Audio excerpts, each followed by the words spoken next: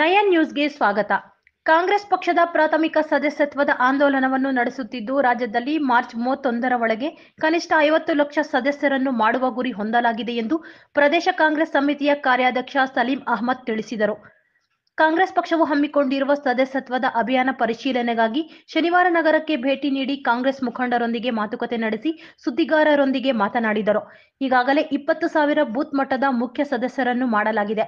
ಒಂದು ಪಾಯಿಂಟ್ ಇಪ್ಪತ್ತು ಲಕ್ಷ ಬೂತ್ಗಳ ನೋಂದಣಿದಾರರ ಮೂಲಕ ಸದಸ್ಯತ್ವದ ಆಂದೋಲನ ನಡೆಯುತ್ತಿದೆ. ಪಕ್ಷವನ್ನು ಬೂತ್ ಮಟ್ಟದಿಂದ ಪುನರ್ ಸಂಘಟಿಸಲಾಗುವುದು ಇಡೀ ವರ್ಷ ಪಕ್ಷದ ಸಂಘಟನೆ ಮತ್ತು ಹೋರಾಟ ಕಾರ್ಯಕ್ರಮವನ್ನು ಹಮ್ಮಿಕೊಳ್ಳಲಾಗಿದೆ ಎಂದರು. ರಾಹುಲ್ ಗಾಂಧಿ ಎಲ್ಲ ಹಿರಿಯ ಮುಖಂಡರನ್ನು ದೆಹಲಿಗೆ ಕರೆಸಿ ಪಕ್ಷ ಸಂಘಟನೆ ಚರ್ಚೆ ಮಾಡಿದರು. ಸಾಮೂಹಿಕ ನಾಯಕತ್ವದಲ್ಲಿ ಮುಂದಿನ ಚುನಾವಣೆಯನ್ನು ಎದುರಿಸಲಾಗುವುದು ಎಂದು ಹೇಳಿದರು. ಕೆಂಪುಕೋಟೆಯಲ್ಲಿ ಕೇಸರಿ ಧ್ವಜವನ್ನು ಹಾರಿಸಲಾಗುವುದು ಎಂದು ಘೋಷಿಸಿರುವ ಬಿಜೆಪಿ ಹಿರಿಯ ಮುಖಂಡ ಹಾಗೂ ಸಚಿವ ಈಶ್ವರಪ್ಪ ಬೇಜವಾಬ್ದಾರಿ ಹೇಳಿಕೆಯನ್ನು ಖಂಡಿಸಿ ಕಾಂಗ್ರೆಸ್ ಪಕ್ಷವು ವಿಧಾನಸಭೆ ಮತ್ತು ವಿಧಾನ ಪರಿಷತ್ತಿನಲ್ಲಿ ಹೋರಾಟ ಮಾಡಿದೆ. ಪಕ್ಷದ ಪ್ರತಿಪಾದನೆಯನ್ನು ಬಿಜೆಪಿ ರಾಷ್ಟ್ರೀಯ ಅಧ್ಯಕ್ಷ ಜೆಪಿ ನಡ್ಡಾ ಸಹ ಒಪ್ಪಿಕೊಂಡಿದ್ದಾರೆ.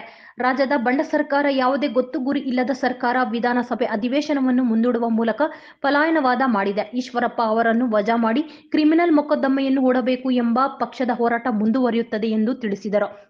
ಭ್ರಷ್ಟ ಸರ್ಕಾರದ ವಿರುದ್ಧ ಹೋರಾಟ ಮುಂದುವರೆಸಲಾಗುವುದು. ಬಿಜೆಪಿ ಅಧಿಕಾರಕ್ಕೆ ಬಂದರೆ ಪ್ರತಿ ವರ್ಷ ಎರಡು ಕೋಟಿ ಉದ್ಯೋಗಗಳನ್ನು ಸೃಷ್ಟಿಸಲಾಗುವುದು ಎಂದು ಆಶ್ವಾಸನೆ ನೀಡಿದ್ದರು.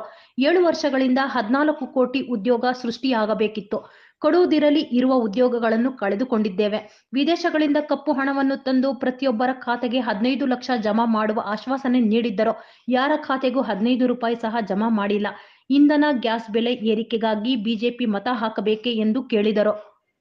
ಕೇಂದ್ರ ಮತ್ತು ರಾಜ್ಯ ಬಿಜೆಪಿ ಸರ್ಕಾರಗಳ ಡಬಲ್ ಇಂಜಿನ್ ಸರ್ಕಾರ ಮೇಕೆದಾಟು ಯೋಜನೆ ಅತಿವೃಷ್ಟಿ ಮತ್ತು ಅನಾವೃಷ್ಟಿಯಲ್ಲಿ ಬಾಧಿತ ರೈತರಿಗೆ ಪರಿಹಾರ ನೀಡಿಲ್ಲ.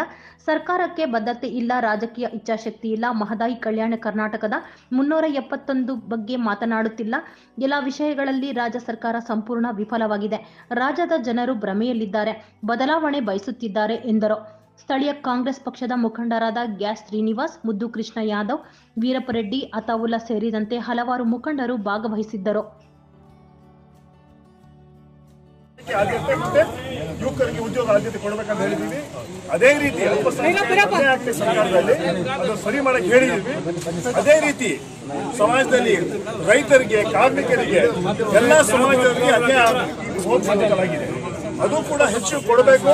ಸಿದ್ದರಾಮಯ್ಯ ಸಮಯದಲ್ಲಿ ಎಷ್ಟೆಷ್ಟು ಅನುದಾನ ಕೊಟ್ಟಿದ್ರು ಆ ಅನುದಾನ ಕೊಟ್ಟಿದ್ರು ಆ ಎಲ್ಲ ಅನುದಾನ ಕೊಡಬೇಕು. ನಾವು ಹೋರಾಟ ಮಾಡ್ತೀವಿ ಅಂತ ಸರ್ಕಾರಕ್ಕೆ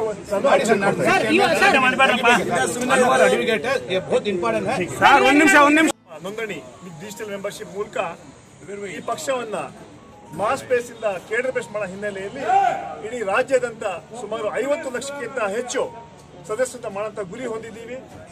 ಈಗಾಗಲೇ ಸುಮಾರು ಇಪ್ಪತ್ತು ಸಾವಿರ ಚೀಫ್ ಎನ್ರೋಲ್ ಮಾಡಿದ್ದೀವಿ. ಒಂದು ಲಕ್ಷ ಇಪ್ಪತ್ತು ಸಾವಿರ ಬೂತ್ ಎನ್ರೋಲ್ ಮೂಲಕ ಪ್ರತಿಯೊಂದು ಬೂತ್ಗಳಲ್ಲಿ ಸುಮಾರು ಕನಿಷ್ಠ ಇನ್ನೂರು ಜನ ಮೆಂಬರ್ಸ್ ಮಾಡಿ ಅದ್ರ ಅವ್ರ ಮೇಲೆ ಸೊಲ್ಯೂಷನ್ ಕೇಸ್ ಹಾಕಬೇಕು. ಅವ್ರನ್ನ ಅರೆಸ್ಟ್ ಮಾಡಬೇಕು.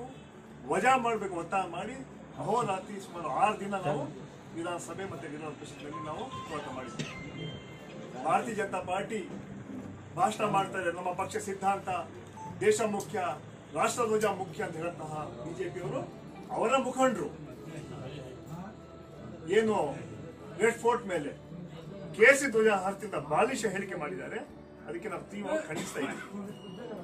ಈ ವಿಚಾರವಾಗಿ ಅಖಿಲ ಭಾರತ ಬಿಜೆಪಿ ಅಧ್ಯಕ್ಷರು ನಡ್ಡಾ ಅವರು ಕೂಡ ನಾವೇನ್ ಪ್ರತಿಪಾದನೆ ಮಾಡಿದ್ವಿ, ಅದೇ ಮಾತು ಕೂಡ ಅವರು ಕೂಡ ಹೇಳಿದ್ದಾರೆ. ಆದ್ರೂ ಕೂಡ ಈ ರಾಜ್ಯ ಸರ್ಕಾರ ಭಂಡ ಸರ್ಕಾರ, ಗೊತ್ತು ಗುರಿ ಇಲ್ಲದ ಸರ್ಕಾರ, ಬೇಜವಾಬ್ದಾರಿ ಸರ್ಕಾರ ಈ ಸರ್ಕಾರಕ್ಕೆ ಯಾವುದೇ ಬದ್ಧತೆ ಇಲ್ಲ. ಅವ್ರು ನಾವು ಹೇಳಿದ್ವಿ. ಎಲ್ಲಿವರೆಗೂ ನಾವು ಅವ್ರನ್ನ ನೀವು ಅವ್ರನ್ನ ಡಿಸ್ಮಿಸ್ ಮಾಡಲ್ಲ. ನಾವು ಸದನವರಿಗೆ ಬಿಡಲ್ಲ ಹೇಳಿದ್ವಿ. ಆದ್ರೆ ಅವರು ಪಲಾಯನವಾದ ಮಾಡಿ ಸದನವನ್ನು ಮುಂದೂಡ್ಬಿಟ್ಟಿದ್ದಾರೆ. ಆದರೂ ಕೂಡ ನಾವು ಗವರ್ನರ್ನ ಭೇಟಿ ಮಾಡಿ ಅವ್ರನ್ನ ಮನವಿ ಮಾಡಿದ್ದೀವಿ. ಕೂಡಲೇ ಅವ್ರನ್ನ ವಜಾ ಮಾಡಬೇಕು ಅಂತ ಹೇಳುವಂತ ಮಾತನ್ನು ಕೂಡ ಮಾಡಿದ್ದೀವಿ. ಅದು ಈಗ ಮುಗ್ದಿದೆ. ಅದು ಜನರ ನ್ಯಾಯಾಲಯಕ್ಕೆ ಇಡೀ ರಾಜ್ಯದ ಎಲ್ಲ ಜಿಲ್ಲೆಗಳಿಗೆ ನಾವು ಹೇಳಿದ್ವಿ.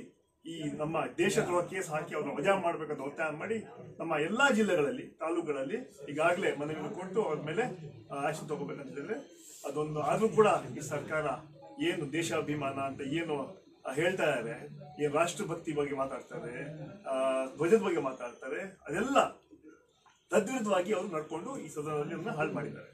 ಆದರೆ ಮತ್ತೆ ನಾಲ್ಕನೇ ತಾರೀಕು ಮತ್ತೆ ಸೆಷನ್ ಬರ್ತಾ ಇದೆ. ಆ ಸೆಷನ್ ಅಲ್ಲಿ ನಾವು ಕೂಡ ಹಲವಾರು ವಿಚಾರಗಳನ್ನು ನಾವು ಹೋರಾಟ ಮಾಡ್ತೀವಿ ನಾವು. ಈ ಸಹಜ ಸರ್ಕಾರ ನಲ್ವತ್ತು ಪರ್ಸೆಂಟ್ ಕಮಿಷನ್ ಕೊಡುವಂತ ಸರ್ಕಾರ. ಇವತ್ತು ಒಂದು ಕಾಂಟ್ರಾಕ್ಟ್ ಪ್ರೈಮ್ ಮಿನಿಸ್ಟರ್ ಬರೀತಾರೆ, ನಲ್ವತ್ತು ಪರ್ಸೆಂಟ್ ಕಮಿಷನ್ ಕೊಡ್ಬೇಕಂತ ಹೇಳ್ತಾರೆ. ಬಹುಶಃ ಇಡೀ ದೇಶದಲ್ಲಿ ಇಂಥ ಘಟನೆ ಎಲ್ಲೂ ಯಾವ ರಾಜ್ಯದಲ್ಲಿ ಆಗಿಲ್ಲ. ಇದೊಂದು ದುರ್ದೈವ ಅಂತ ಹೇಳುವಂತ ಮಾತನ್ನು ಹೇಳ್ತೀನಿ. ಪ್ರಧಾನಮಂತ್ರಿ ಕಾರ್ಯಾಲಯ ಅದಕ್ಕೆ ಯಾವುದೇ ರೀತಿಯಲ್ಲಿ ಮಾಹಿತಿ ಕೊಡಲಿಲ್ಲ. ಇವತ್ತು ನಾ ಖಾವುಂಗ, ನಾ ಖಾನೆ